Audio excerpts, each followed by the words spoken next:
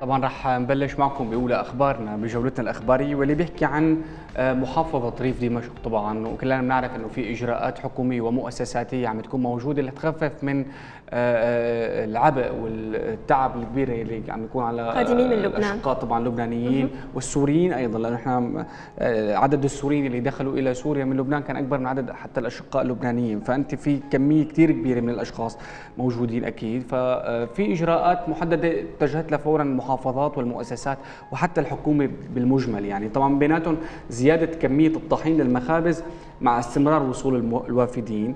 كشف نائب محافظ ريف دمشق جاسم المحمود لأثر طبعا بريس إنه توزيع الخبز للوافدين اللبنانيين يتم عبر المعبر الحدودي.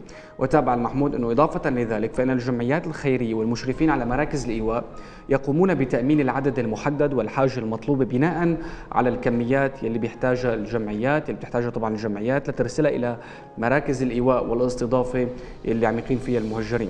وأضاف طبعا نحن بوصفنا محافظة الريف طبعا عم نقوم بتأمين العدد المناسب بشكل يومي ولا يوجد أزمة خبز حتى الآن إنما مديرية المخابز بريف دمشق قامت بزيادة كميات الطحين المخابز من أجل التوزيع على الأخوة اللبنانيين لحين عودة الأمور إلى ما كانت عليه.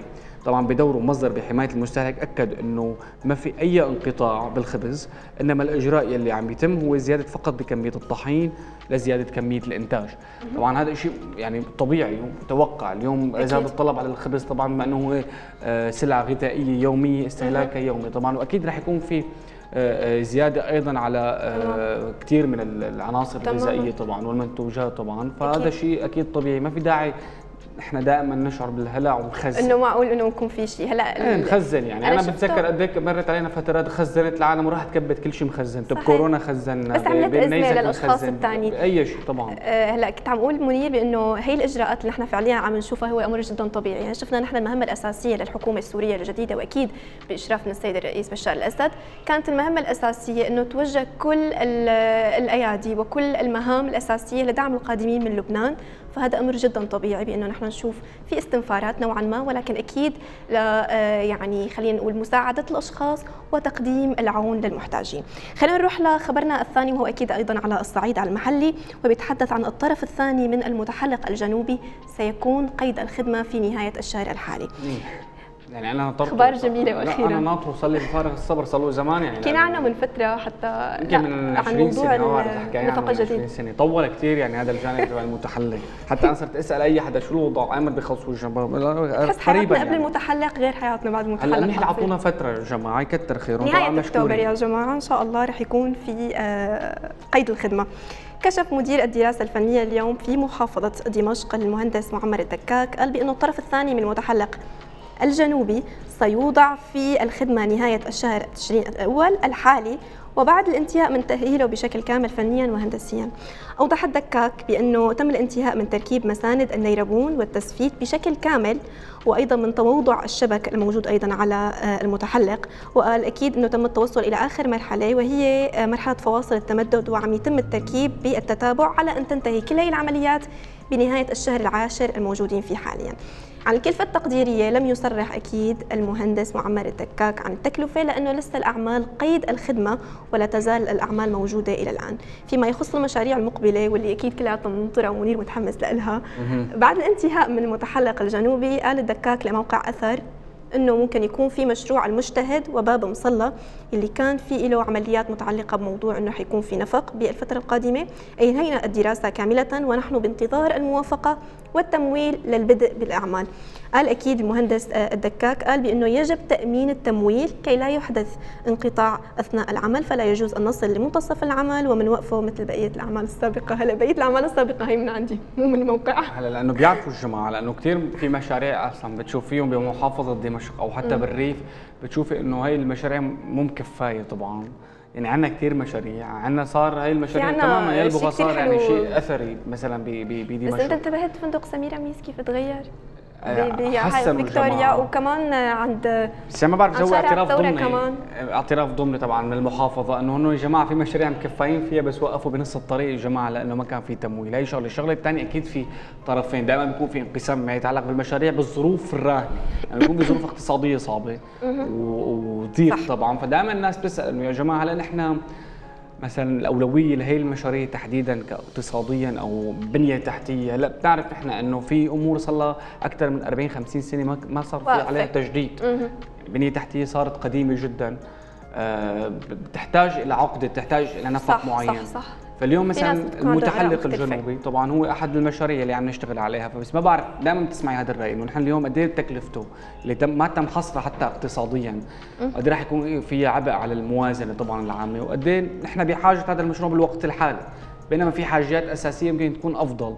ما يتعلق بالكهرباء ما يتعلق بالمياه. أكيد الطرق هي شيء طبيعي ومهم جدا لأنه مثل ما بنعرف إنه شريان تحرك المواطنين والموجودين بسوريا اليوم الطرق. ولكن قد هي بتحمل دائما آراء. شغلة في أشخاص بيتحمسوا إنه والله في تجديد آه، موجود اليوم بمحافظة دمشق أو أي محافظة أخرى. ونشوف في أشخاص لا آه، دغري بيهاجموا إنه هلأ وقت مثلا إنه تبنوا مكان بإمكانكم إنه تعملوا مثلا طاقة بديلة تكون مثلا الشوارع منارة. ممكن. طبعا لأنه أنت بتسالي حالك سوسن اليوم إنه هل حقيقة هي المشاريع عم تعمل تغيير نوعي لأنه حتى عم بيقولوا إنه أنتم عم تحطوا متحلق جنوبي. هلأ بعض من الآراء كانوا عم بيحكوا عن هذا الموضوع. إنه متحلق صار قيد الخدمة ولكن اليوم أشخاص كثار عم مع الأسف عم يفقدوا حياتهم على الاوتوسترادات وعلى الشوارع الأساسية بالمحافظات فقط لأنه ما في آه، عواميد إنارة. تماما. فقط لأنه اماكن آه نحن عم نحكي عن محافظة ريف دمشق يعني أكيد عندها شغل جبار محافظه ريف دمشق. طبعا كل الشكل طبعا عندهم شغل جبار لأنه إذا بنحكي عن ريف دمشق فهو أكيد في تقصير في إهمال بحاجة أكثر لدعم معين. المتحلق يمكن تم آه، صيانته أكثر من مرة. بينما في شوارع مثلا ما تم صيانتها. فعلى العموم مشكورين طبعا أكيد كل الجهود خلينا نروح لخبرنا الأخير. وخبرنا الأخير هو طبعا طبي عن اختراع جديد آه، قام فيه علماء طبعا آه، أعصاب باليابان وهي طريقة جديدة تساعد بإيصال الدواء إلى الجزء المسؤول في الذاكرة أو عن الذاكرة في الدماغ. طبعا وفق ما ذكرت وكالات علمية طبعا بمقال كتبه بعض العلماء طوروا طريقة طبعا وجدت بمجلة آه، علمية مختصة بموضوع الأعصاب والأبحاث العصبية. آه، إنه طورنا نهجا يسمح باستخدام جزيئات البروتين الشبيهة بالأنسولين لتوصيل الدواء إلى طبعا الحصين. وهو مركز الذاكرة في الدماغ. إذ سيعمل هذا النظام على تحسين فعالية أدوية الزهايمر وتسهيل وصولها إلى الدماغ. وأشار العلماء إلى أن الخلايا العصبية آه، في مركز الذاكرة في الدماغ هي أول الخلايا اللي تبدأ في الموت بشكل جماعي وتواجه مشاكل في الأداء أثناء تطور مرض الزهايمر وغيره من أمراض التنكس العصبي طبعا. لهيك بنشوف أنه الأشخاص بينسوا أسماء أولادهم الأماكن حتى أماكن المنازل آه، كل هاي الأمور طبعا مباشرة مع التقدم بالعمر لأنه الزهايمر بيهاجم طبعا هي الخلايا المسؤولة عن الذاكرة في الدماغ فهي أول خلايا اللي بتموت. آه، الأدوية النموذجية الحالية للخرف آه، إما غير قادرة على اختراق دماغ الدماغ طبعا أو ما بتتراكم بمركز الذاكرة.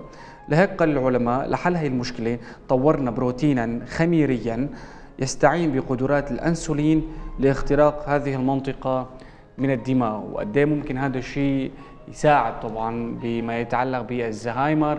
وقد إيه ممكن يضل في إحياء لهدول الخلايا المسؤولة طبعا عن التذكر؟ مثل ما حكينا إنه في كثير أشخاص بعد السبعين بينسوا أسماء أولادهم واولاد أولادهم يعني تمام. خالصين. يعني وصلوا لمرحلة إنه مؤسف جدا إنك أنت تشوفي حدا. نسيان المكان اللي تربى فيه أو عاش فيه 50 60 سنة أو حتى اولاده بيسترجع بس الذكريات القديمة والأشخاص الحاليين. أو مثلا بفكر أحفاده هن اولاده كمان يعني. كثير بتصير. مع الأسف هو هذا المرض آه، يعني منير. ما بيكون في له علاج حقيقي. ليش؟ لأنه مجموعة الأدوية اللي هن تطبق فعليا ما بتوصل فعليا على المناطق التي يجب آه، أن توضع لها فبعتقد هذا الاختراع القادم رح يسهل آه، عمليات العلاج. فبالتالي ممكن مرض الزهايمر ما بيبطل ما بيكون خلص هذا المرض اللي ممكن يؤذي الأشخاص. آه، فعليا ممكن نشوف بأنه يتم استعمال هذا الدواء القادم خلينا نقول بكثير من المجالات. يعني قد صح إنه الإنسان خلص فيه يسيطر على ذاكرته يسيطر على أنواع الذواكر الموجوده لديه الذاكرة الصوتية الذاكرة البصرية وغيرها من موضوع الذواكر. قد صح إنه ممكن يكون هذا الشيء بيساعدنا بحياتنا المستقبلية. إنه أنت خلص ما عاد فينك تنسى. أو ممكن تتحكم بالنسيان. بشع كثير يعني. عم اعطيكم اقتراح جديد للعلماء؟ كثير سيء يعني. إنه فكرة إنه ما فيك تنسي. فتخيلي إنه عندنا مآسي أكثر ما عندنا شغلات إيجابية. أنا بحس بحياتي تحديدا. خلينا نحكي عن حياته الشخصية الواحد. هذا نتذكر. عشان ما نكون عم نهاجم أي حدا. فإنه ما تكون عم تنسى كمان هي الكوارث بالحياة, بالحياة. فهي أكيد شيء جدا سيء راح يكون.